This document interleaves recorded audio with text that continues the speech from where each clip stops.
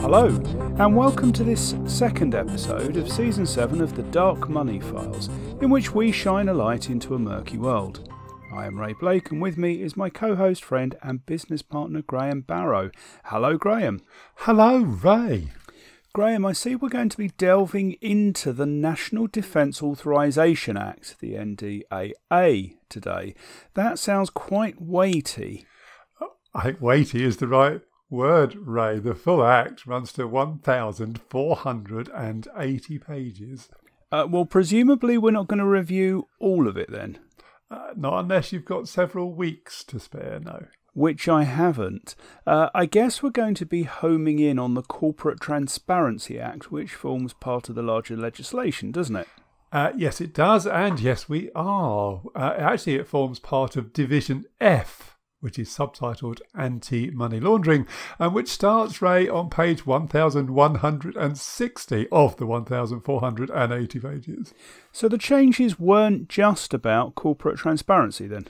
No, they weren't. They also covered areas such as improved coordination and information sharing, modernising the AML and CTF laws to adapt to new and emerging threats. Uh, it's about encouraging technological innovation and enhancing the risk based approach, along with requiring uniform beneficial ownership information. And that's the bit we're going to focus on today. Although I have to say that the rest all sounds very interesting as well. Well, it does, and well, maybe we'll come back later for another review. But our part is called Title 64 Establishing Beneficial Ownership Information Reporting Requirements, but which has a short title of Corporate Transparency Act. Yeah, I'm, I'm not quite sure of the logic behind the full and short titles because they don't actually seem to relate in any way much. Mm. But anyway, that's what they are. And right at the outset, there are some jaw dropping statistics. Like? Like the fact that there are more than 2 million corporations being formed every year in the US. Every year? Mm. Blimey. And, and up to now, no requirement to disclose who owns them. Well, so it seems. The legislation says, and I'm quoting, most or all states do not require information about the beneficial owners of corporations. That's, if you don't mind me saying, Ray, that is a bit vague mm. for a piece of legislation, isn't it? It's either one or the other, but most or all seems a bit imprecise. well, it suggests they're really not sure. That's not a great place to be, is it? Uh, no, no, it's as far away from transparency as it's possible to get, I would say. Graham. Um, yeah. The Act goes on to say that malign actors, its phrase, uh, use this fact to launder money. Oh, you don't say. Mm, not just that, they do it through layers of companies, quote, like Russian matryoshka dolls, it actually says in the Act. I think we've used that expression ourselves before. Yeah. So, but it's in the Act, so they don't just use standard legalese in their acts then. Well, apparently not, and maybe they listen. Uh, the Act also says they use secrecy locations for these layers, so each layer takes an eternity to unravel revelation after revelation. Mm. And then it lays out the reasons for enabling the capture of beneficial ownership information. Okay, which is? To set a clear federal standard, protect vital US interests, and better enable critical efforts to counter AML and CTF. Good. Anything else? Oh, yes, to bring the US into compliance with international standards.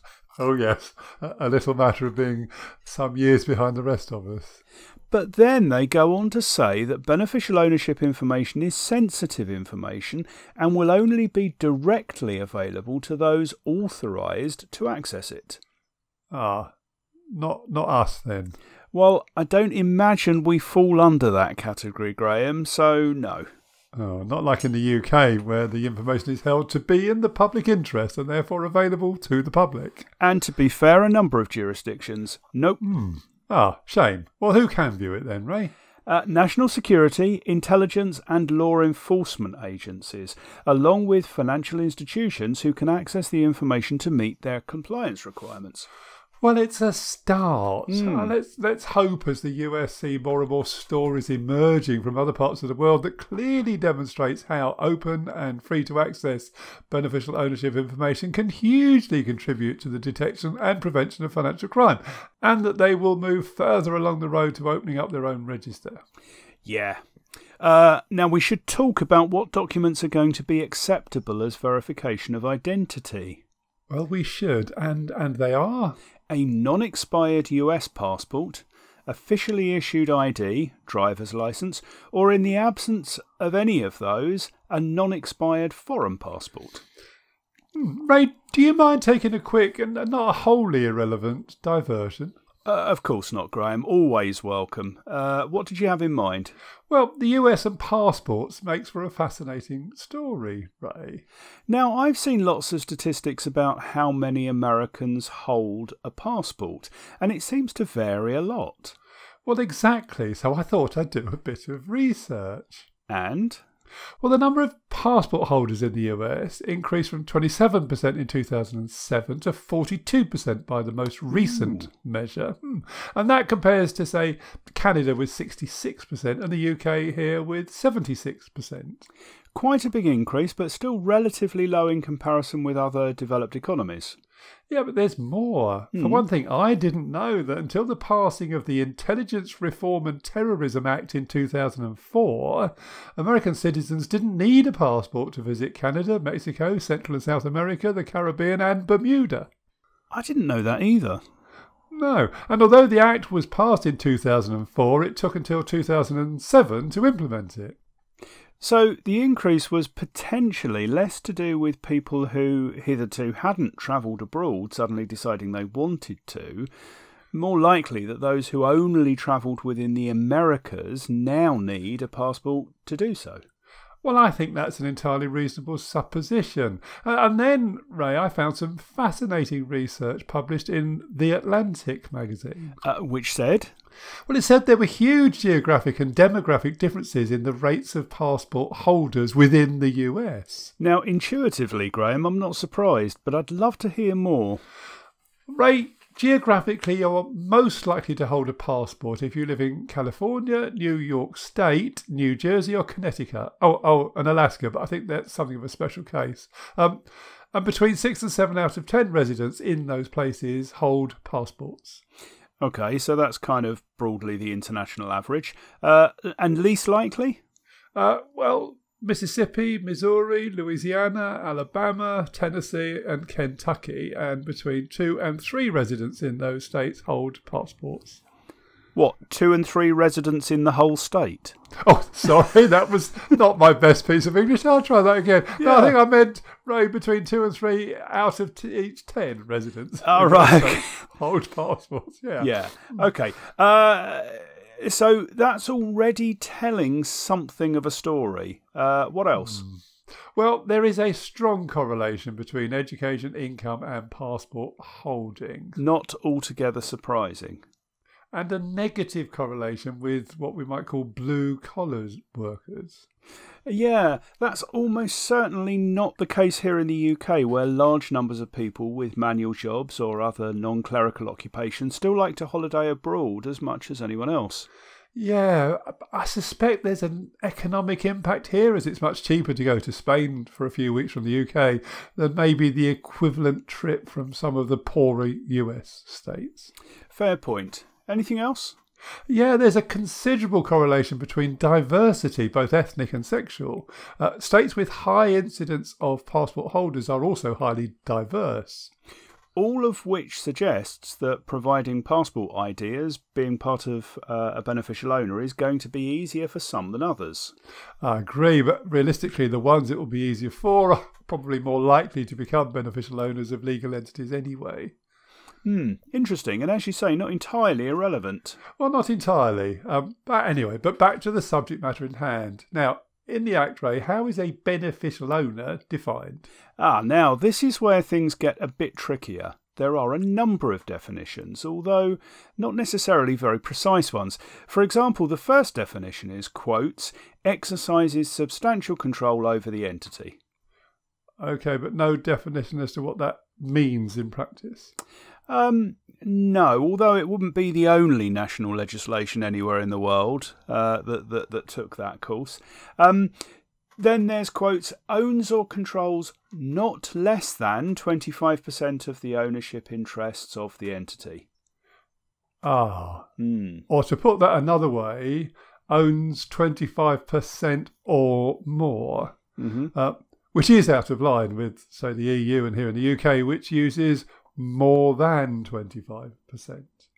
Exactly, Graham. Um, it may only be one share difference, but also potentially the difference between three UBOs and four.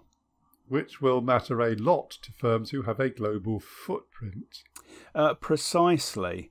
Minor children are excluded from this definition, by the way. Oh, do they have the legal capacity to own or control shares in an entity? Uh, I can't answer that question for the US, Graham. I don't know.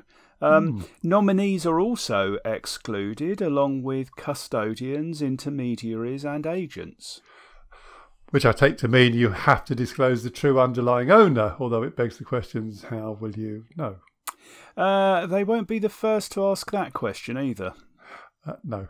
Uh, and then there's a lot of technical information about what is and isn't a quotes reporting company, um, which means one that has to disclose their beneficial ownership information.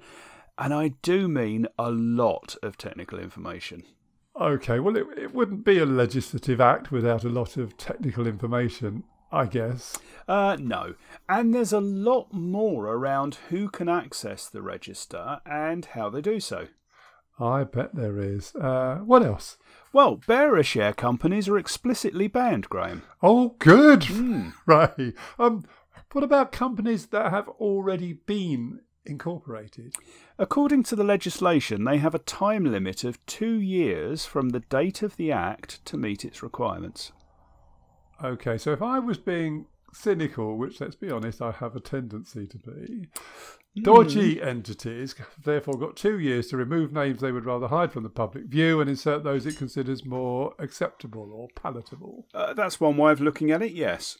Uh, sadly, that's my way of looking at it. um, and what about changes to beneficial ownership once registered? The Act provides for a period of one year to report such changes. And how would they know if there had been a change? Well, that's a very good question, Graham. Uh, you seem to be implying that a company might incorporate with one set of names and subsequently change to a different person.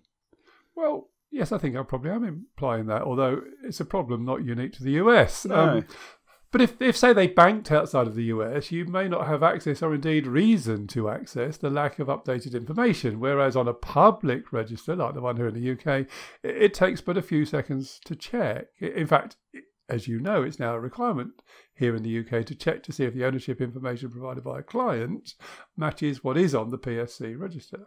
Yeah, something non US firms might find very difficult if they bank a US entity. Yeah, yeah, absolutely. So, um, is there anything else in the overall uh, NDAA that caught your eye? Uh, yeah, there's an explicit instruction for the Treasury to undertake a threat assessment in money laundering by the People's Republic of China. Oh, really? yeah, and also a requirement post assessment to compile a strategy to counter Chinese money laundering, along with a time limit of a year to complete the work.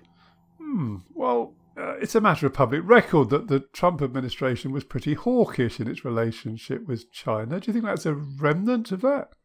It would be easy to typify it in that way, but I think it represents something deeper.